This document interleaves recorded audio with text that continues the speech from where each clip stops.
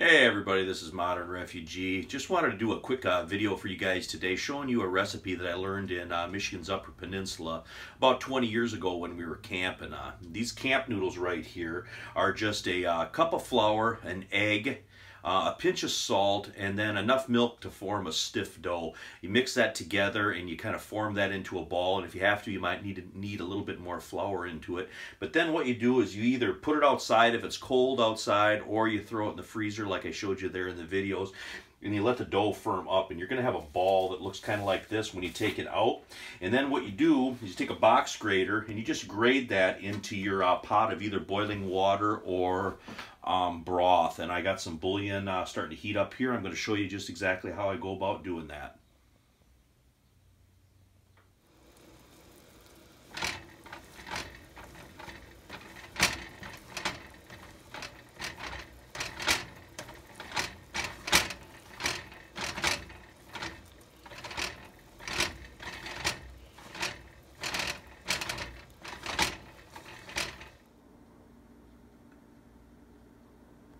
And this right here, after it boils for a few minutes, are the resulting noodles. It's kind of a cross between a noodle and a spätzle. This is just something that you can add into, uh, you know, some broth um, with a little bit of chicken or a little bit of vegetables to make yourself a real quick makeshift soup.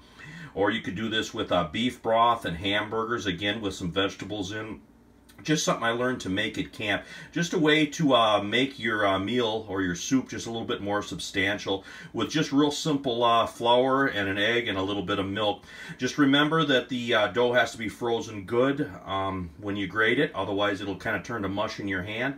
If it's uh, starting to turn to mush, put it back outside or back in the freezer for it to uh, cool down a little bit more, and then just keep going. But anyway, I just wanted to share this real quick, easy way to make some noodles with you guys today. This is is uh, Modern Refugee. I appreciate all my subscribers out there. Hope you guys are getting a little information and a little entertainment out of my videos. You guys have a good day.